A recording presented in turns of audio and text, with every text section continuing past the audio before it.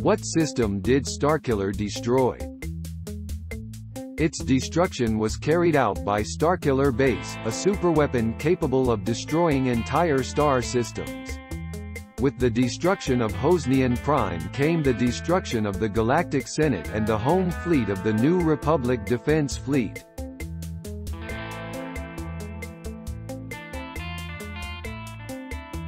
Thanks for watching.